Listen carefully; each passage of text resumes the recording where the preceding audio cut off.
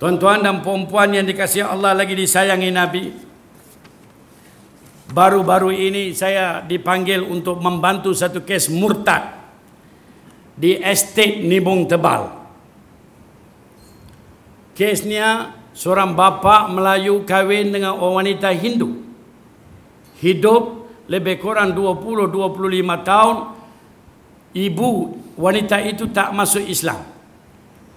Yang hamba Allah orang Melayu Islam tapi istrinya tidak Islam. Sehingga akan melahirkan lebih kurang 11 anak. Dan tujuh orang anak diberikan nama-nama Melayu. Faizuddin, Sobri, ada, ada. Bukan Sobri ini, Sobri lain. Jamaluddin, tapi hidup sebagai orang kafir, Hindu. Masuk koil, sembahyang dan sebagainya. Maka tiba-tiba dengan kehendak Allah Subhanahu wa taala si wanita itu masuk Islam 2 3 tahun sudah. Dan masuknya Islam itu dia sembunyikan daripada anak-anaknya. Allah takdirkan dia mati 2 3 minggu sudah. Maka mayatnya menjadi rebutan. Rebutan macam mana? Pihak masjid dapat tahu ini ada orang Islam sini dan sebagainya maka menjadi perebutan mayat. Dengan kuasa tertentu kita dapat berjaya apa kata dapat mayat itu.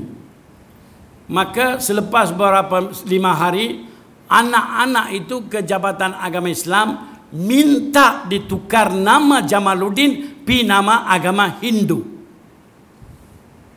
Ke semua anak. Sebab mereka asalnya hidup macam itu.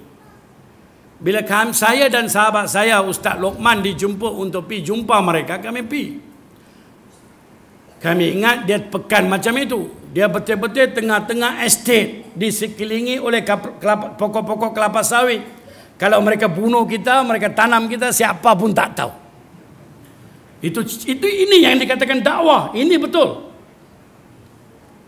Bila kita sembang, sembang, sembang, pada asalnya mai satu orang, mai dua orang, last kali satu lori mai. Sebab mereka takut kami ini jabatan kami sana ambil mereka balik ke tempat mana wallahu alam. Itu itu persangka mereka. Dia tanya anak kepada hamba Allah itu bertanya kepada saya.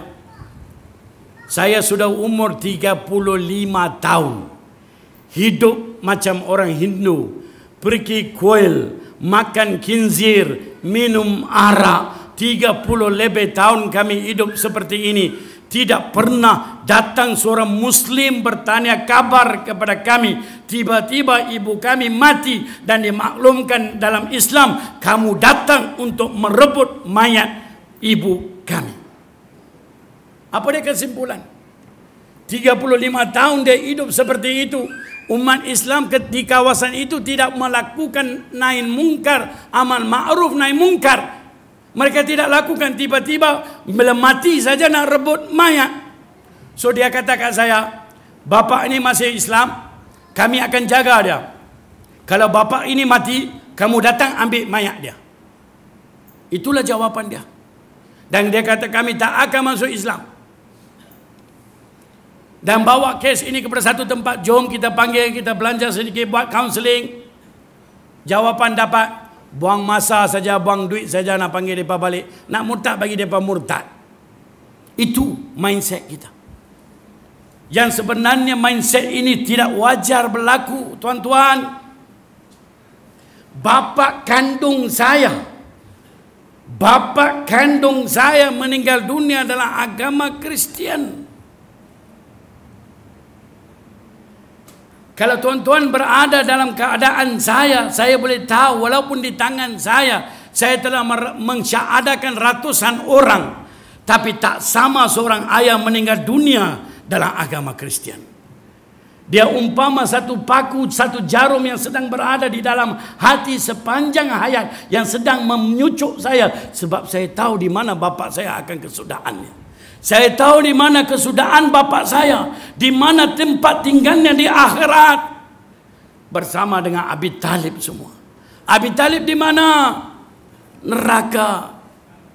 Orang yang masuk yang mati dalam bukan dalam Islam mana? Kita tahu neraka. Tapi pernahkah kita ada keturjaan semangat untuk selamatkan mereka walaupun sedikit?